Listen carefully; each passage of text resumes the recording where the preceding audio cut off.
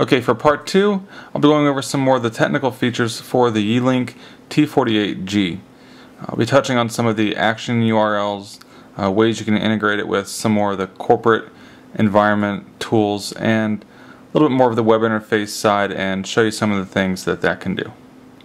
So here we are at the computer, and we have our phone right here, and we will be looking at the web management interface here. Uh, this is just the local IP of the machine.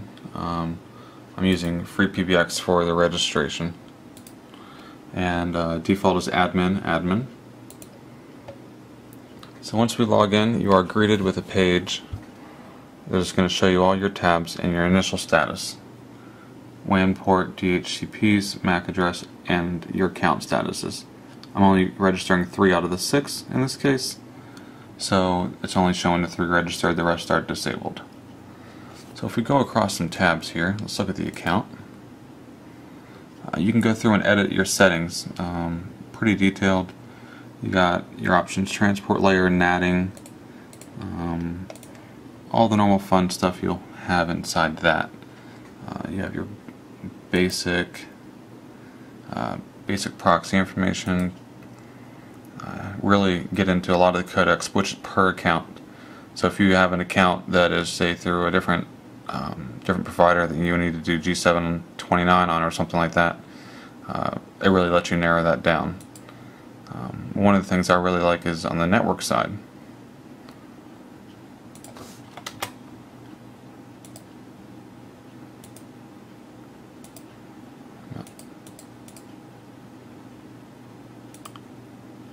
Uh, I guess the network isn't loading if you don't have something hooked up on the other side. If you look at your, your DSS keys, as I mentioned earlier, the DSS keys here are your pre-configured keys that are here. These are going to give you options such as speed dial 101, which we configured earlier, uh, 97, which is a simple PBX voicemail, um, speed dial 0 for the directory, which is just an extension on the PBX. Um, and you saw earlier I set up a echo test for star 43. Um, and that's under 21 through 29, which is hidden. You can also get into programming the key functions. Um, the history key, the directory key, you can change all of these uh, up, down, left, right is the buttons on the, the actual physical hard buttons right here. As we mentioned, left and right changes your extension. and your extension key here. If you had an expansion module, you would have you know another 10, 15 keys if you wanted to expand that.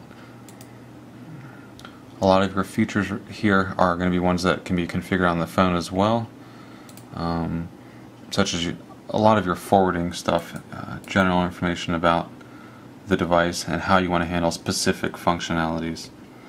Um, and you saw, as I mentioned earlier, um, action URLs.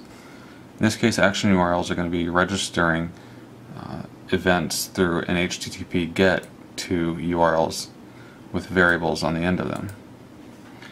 And you can map out different ones for different functionalities. Uh, and I'll get into that in a, in a second. Uh, here on the settings side, um, you're going to get options, time and date, upgrade, auto provisioning, if you want to pr uh, provision management interface there uh, backlight active level. Um, you can change the, you know, it to go low instead of turning off, um, which is one of the good things about it being uh, not a capacitive touchscreen because if it turned the screen off you wouldn't be able to wake it up by touching the screen. Um, you can really change your a lot of information here, upload your own wallpapers as well. Um, so here if I wanted to uh, click and upload this, uh, you can see it just changes the wallpaper right there. A lot of information on the time and date, a lot of upgrading here, uh, provision maintenance, uh, and a lot of the changing the soft key layouts, which is great. Everything on this phone is completely configurable. Um, here are your directories. If you look here, uh, we added the directory earlier to just number 4. Um, a lot of this can be configured through uh, XML or CSV files. Uh, you also have remote phone books you can add in, uh, which is just a simple XML. Um, phone call information, this gives you full stats on calls that you would be placing from that phone. Uh, forwarded list, uh, calls received. It also does LDAP authentication and you can do directory pulls from different uh, provisioning systems.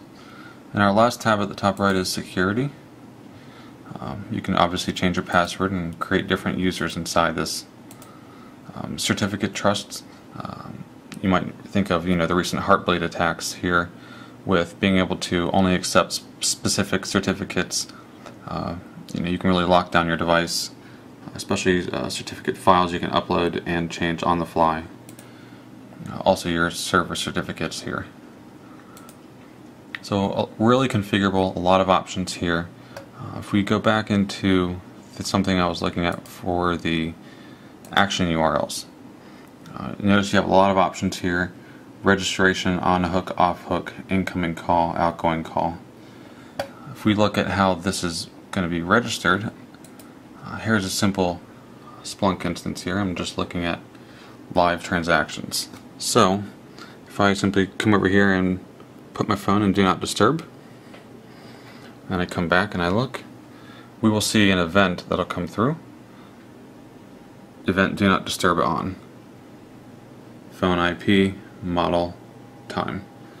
And this really lets you do things like chart out actions um, on your corporate environment, and that's just a simple example of how things are configured. But as far as uh, this phone is con concerned, I would say this is a very good overall um, enterprise level to actually entry level phone.